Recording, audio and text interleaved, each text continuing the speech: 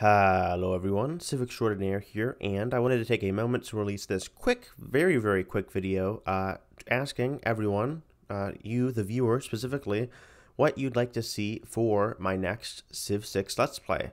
Uh, I wanted to do a last Let's Play just to get the patch out um, and kind of review it. Uh, there's been a ton of changes, some very, very fun ones, especially to the Kume. So uh, I just wanted to see if you guys wanted to uh, see me play a certain Civ, and if you do, you can vote in the straw poll here in the comment section. I will also be linking the straw poll for this video, so uh, you can just go here. I've received no votes yet, I don't think. Nope.